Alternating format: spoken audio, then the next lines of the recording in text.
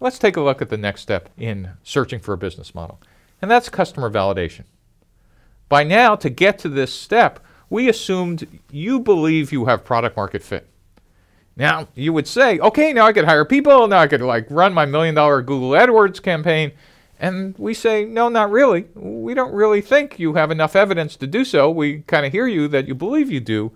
So we're going to do this again, but this time trying to get orders or users or both, depending on what your business model said.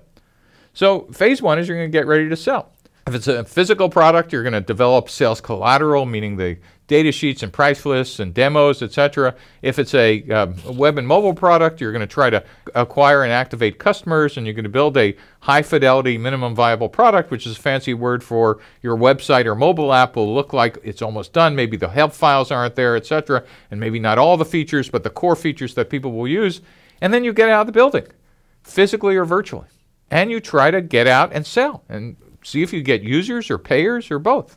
The other thing you'll be doing simultaneously with this is develop positioning, which is a fancy word for saying, okay, I now have a lot of customer feedback.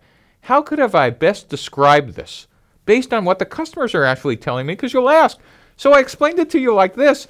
How could I have said it better? And, and if you actually listen to them, they actually would have said, yeah, you know, I ignored the first seven things you said, but when you said number eight, that's when I really got interested and excited. And so you're going to develop a both corporate or company and product positioning, and you're going to do this way before you ever spend money on external PR agencies by actually listening to your own customers. And then in phase four, you're going to verify or repeat. And you're going to see if you're ready to start scaling sales and marketing spending in customer creation, which is the most expensive part of a startup. This customer validation stage actually gets you out and you pretend you have the world's largest sales force and you're ready to go, okay, I think it's really going to work because I've tested it in customer discovery.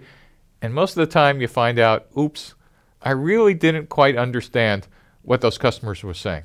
And instead of being out of business because you spent all your money on Salesforce or Google AdWords campaigns or customer acquisition, you now have the cash and time to simply go back from phase four and go back and pivot and say, I clearly didn't understand something about my customer segment or features or customer needs or how to uh, do customer relationships, etc.